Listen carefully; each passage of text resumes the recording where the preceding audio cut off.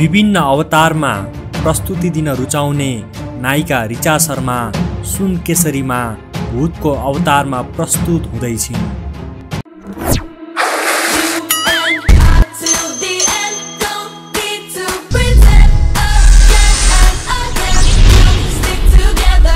जेठ एघारबाट सम्पूर्ण हलहरूमा एकसाथ प्रदर्शन हुने चलचित्र सुनकेसरी हरर मुभी हो यस चलचित्रमा रिचा शर्माका अलावा अस्ट्रेलिया निवासी सनी ढकाल रविन्द्र झा र विदेशी नायिका लरेन लफबर्गका अलावा सुनिल पराजुली प्रेरणा थापा लगायतका कलाकारहरूको अभिनय देख्न पाइनेछ। अस्ट्रेलियामा छायाङ्कन गरिएको सुनकेसरीलाई अर्पण थापाले निर्देशन गरेका हुन्। करिब डेढ घन्टा अर्थात् सय मिनट अवधिको यस फिल्मबाट दर्शकले डरसँगै पूर्ण मनोरञ्जन प्राप्त गर्ने कुरामा नायिका रिचा शर्माको विश्वास रहेको छ।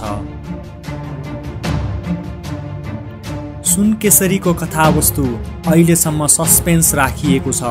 यद्यपि ट्रेलर हेर्दा लाग्छ वर्षौँ पहिलेदेखि सम्बन्धमा रहेका नायक र नायिकाबाट भएको सन्तानको आकस्मिक मृत्युपछि सुनकेसरी अर्थात् रिचा शर्माको शरीरमा उक्त आत्मा प्रवेश गर्छ।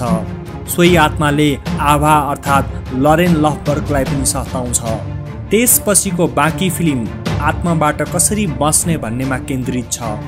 त्रिकोणात्मक प्रेम कहानीबाट निस्किएको अर्जन र प्रेतात्माको प्रवेश फिल्मको क्लाइमेक्स हो। तर फिल्मको अन्त्य संयोगान्त छ कि वियोगान्त?